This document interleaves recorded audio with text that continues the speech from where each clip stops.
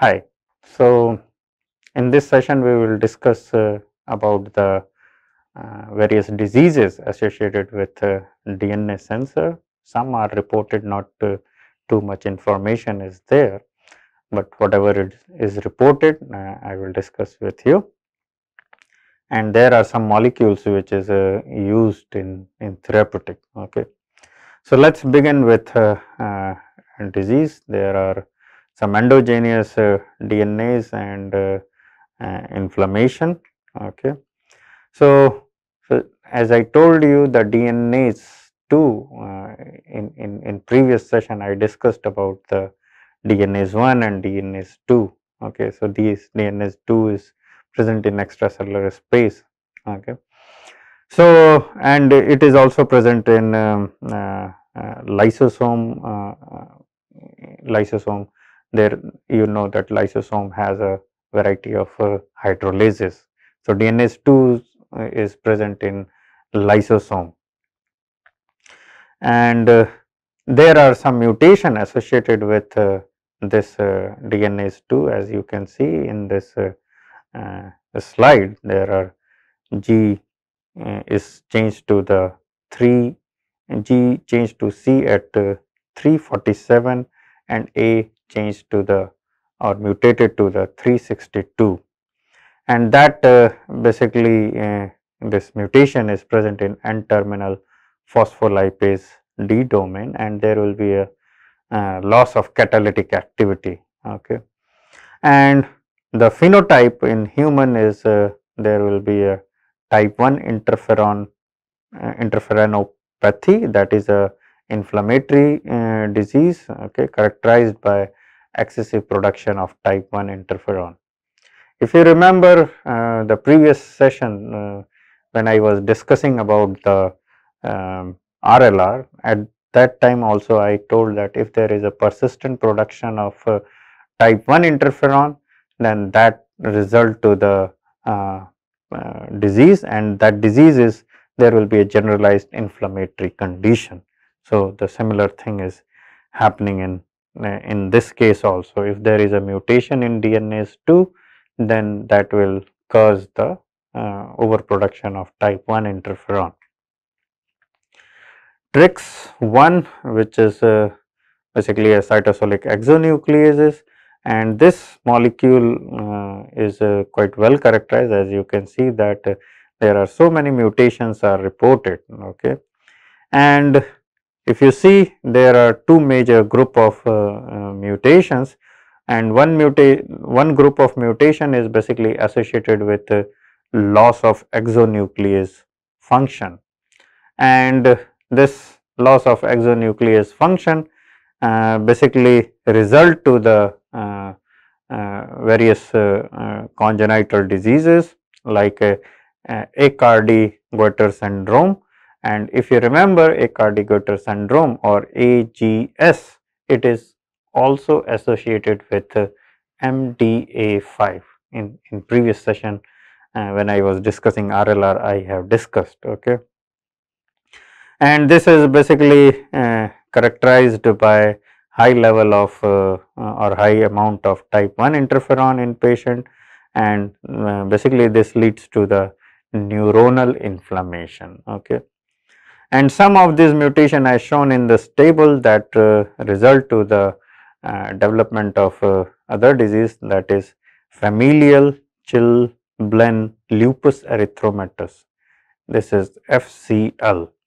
It is a heterogeneous uh, autoimmune disorder and some mutation also result to the development of uh, uh, systemic lupus erythematosus. Okay and uh, now you are aware uh, after going through all this uh, this course you might be understanding that uh, one disease can be happen by multiple things okay? SLE can happen by various ways okay? And uh, if there is a mutation in TREX also that result to the uh, SLE okay? It's a autoinflammatory or uh, autoimmune disease uh, which is inflammatory in nature okay? And there is a various category of uh, SLE so uh, since uh, uh, I am not clinician, I am not the right person to explain various categories of SLE okay, based on the symptom.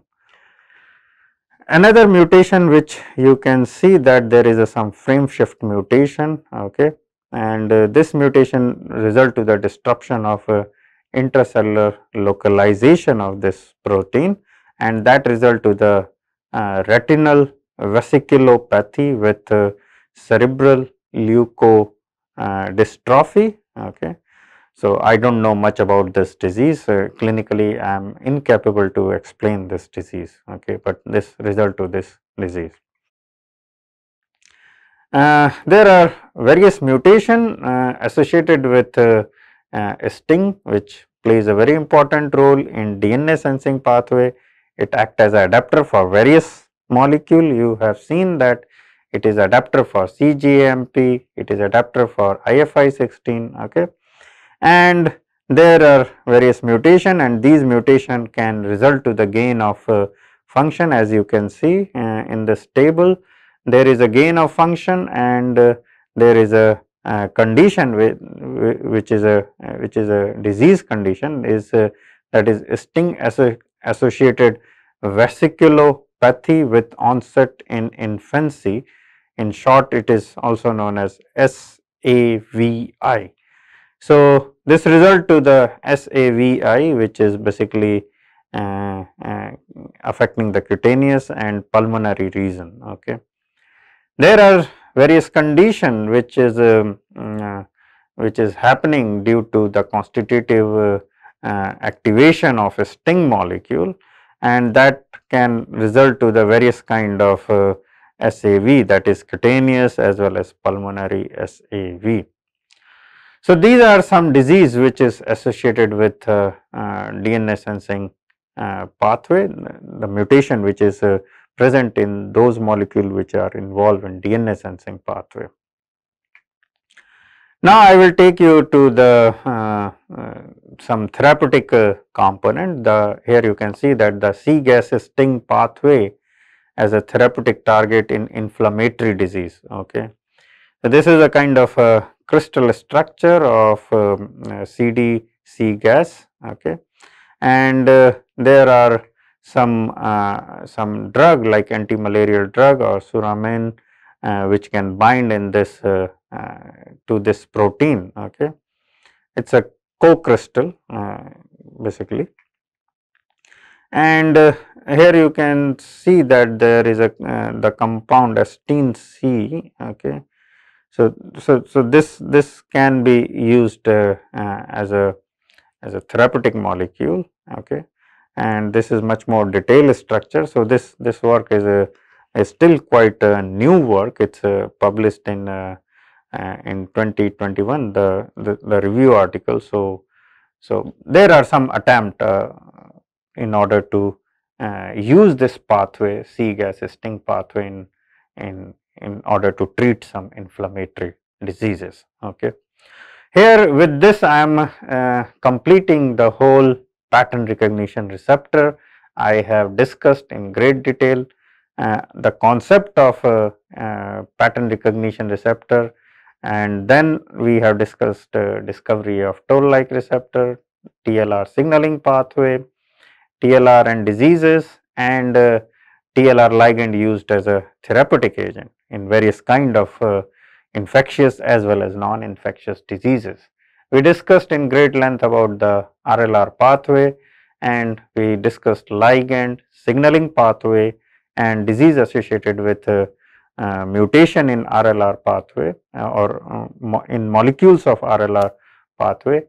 And we have also discussed nod-like receptor in great length, the ligand, signaling and the disease.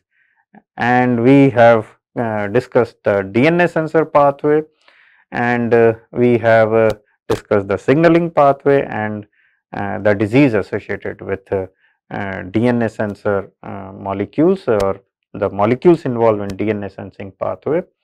And with this I am completing whole pattern recognition receptor and uh, I am also completing the 6th week and in next session we will start with uh, one very important uh, uh, component uh, of immunity which I we call it as a complement okay?